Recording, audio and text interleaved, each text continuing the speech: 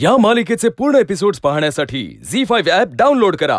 राजनंदिनीचा photo पाहिल्यापासून मला जे जे दिसलंय ते सगळं मला अजूनही स्पष्ट आठवत आहे अगं पण बाळा खरं खोटं तपासून बघावं लागेल ना?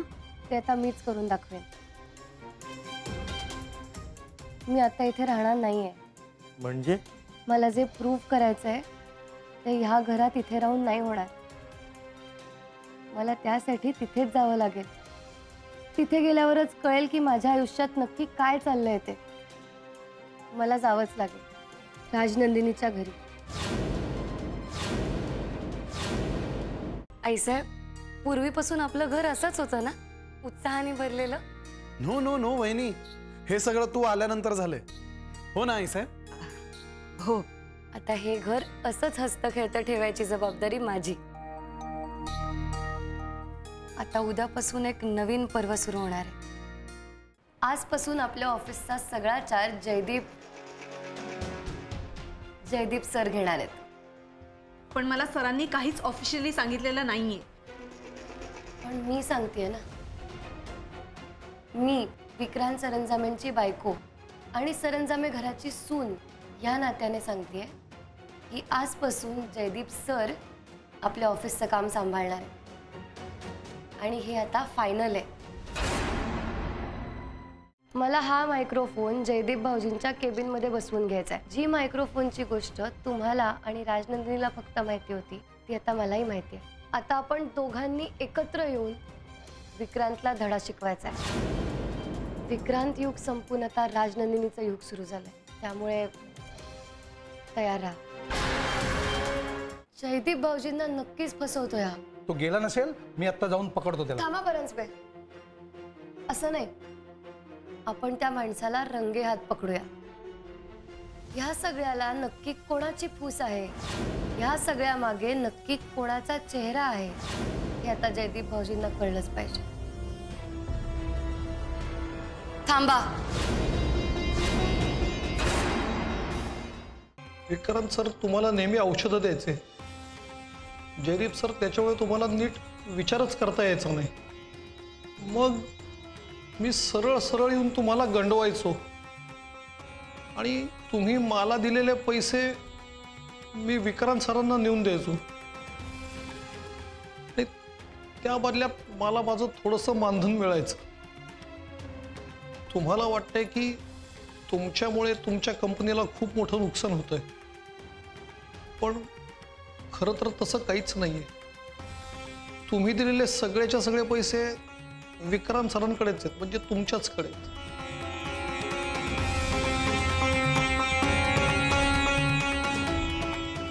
तुम्हाला हे सगळं कधीच कळू नये. तुम्हाला नीट विचार करता येऊ नये. म्हणून विक्रांत सरांनीच तुम्हाला ही सगळी औषधाची सवय लावली होती. या सगळ्या औषधांमुळे या गोळ्यांमुळे तुमची विचारशक्ती मंद होत गेली. गोळ्या घेतल्यास? न विसरता?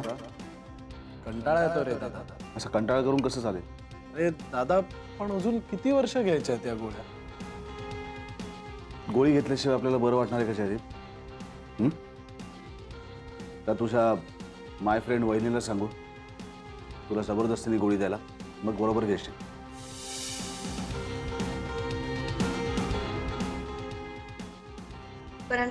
येस मॅम यांना पोलिसांच्या ताब्यात द्या.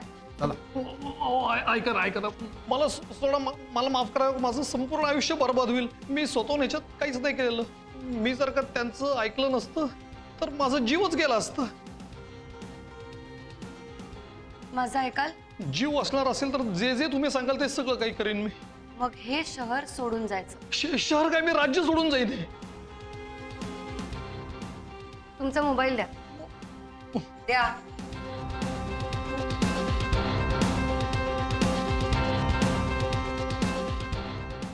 परांजपे हा मोबाईल आपल्याकडे जमा करा आणि यातलं सिम कार्ड तोडून टाका.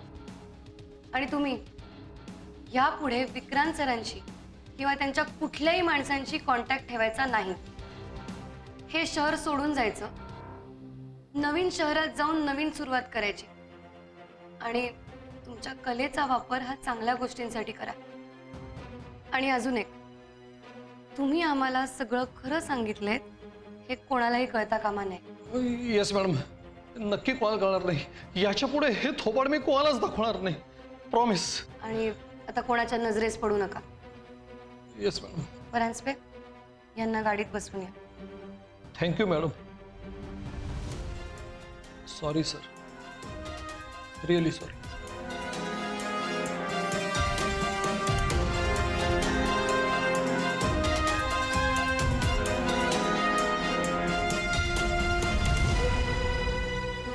तुम्हाला हे सगळं कधीच कळू नये. तुम्हाला नीट विचार करता येऊ नये म्हणून विक्रांत सरांनीच तुम्हाला ही सगळी औषधाची सवय लावली होती. ती या सगळ्या औषधांमुळे या गोळ्यांमुळे तुमची विचारशक्ती मंद होत गेली. भाऊजी काय करताय? लंडनचं तिकीट बुक करतोय. भाऊजी? वहिनी मी जाणार आहे लंडनला. आणि तो जिथे कुठे असेल त्याला शोधून काढणार आणि मारणार त्याला खून करणार मी त्याचा. भाऊजी शांत व्हा. वहिनी ज्या माणसाने दादासाहेबांना मारलं माझ्या ताईला मारलं त्या माणसाला मी का सोडू वहिनी? तुम्ही एक गोष्ट लक्षात घ्या की त्यांनी हे सगळं खूप हुशारीने केलंय. म्हणजे मग आपण काहीच करायचं नाही का वहिनी? करायचं ना. पण आपण विचारपूर्वक पावलं टाकायची. ओके? तुम्हाला हे सगळं कळलंय हे कोणालाही कळता कामा नये भाऊजी. शासनाचा जनजागृतीचा कार्यक्रम आहे. गावागावात नसबंदीची मोहीम राबवायची. अहो काय आबरू काढायची काम नुसती? आपल्याला नाही जमणार ही. कोणीच तयार नाहीये आता फक्त एकच व्यक्ती मदत करू शकेल काय? अहो ही असली मदत? अहो भरोशाचा गडी पण सोडून गेला आता काय करू मी? आज कार्यक्रमासाठी बळजबरी करायल्यात? उद्या नसबंदीसाठी बळजबरी करत्या. लुक्स बघितलेले त्याच्यावरती चॅट करायला चालू केलेला. हां आणि मग? त्यानंतर थोडाफार स्वभाव सुद्धा लक्षात यायला लागला. कसा आहे स्वभाव? एस एम एस वरती तर एकदम छान होत. सर्व आमच्या कुटुंबात सांभाळून घेणे हे पूजाचं काम सून म्हणून आहे. त्याच्या पुढे सांगून सांगून हात जोडले. आता पूजा काय? माझं काहीतरी लग्नाचं बघा की. अरे दिवाळीपर्यंत बाहेर उडवून देऊ आपण. एवढा उशीर कुणाला कड निघतोय वय? मी आता सात दिवसातच लगीन करून टाकणार आहे. पुरगिले असो माय तू ओळखतोच की तिला? One and only Sarita. माझी कविता.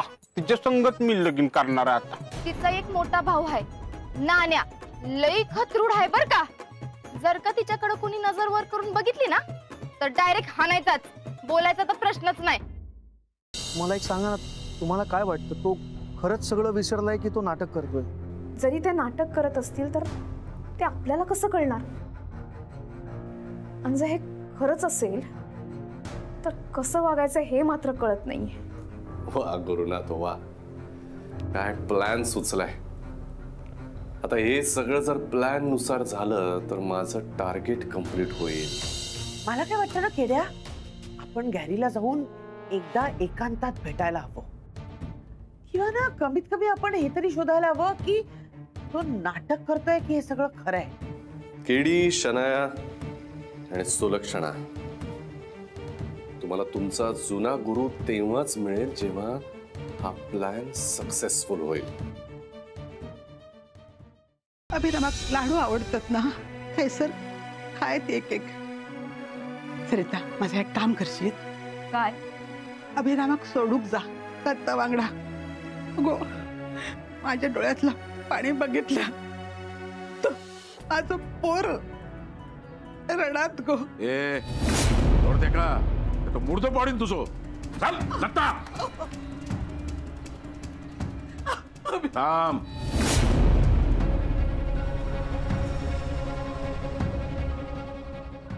शंभूराजांनी गडावर सर्वांनाच आदेश दिलाय.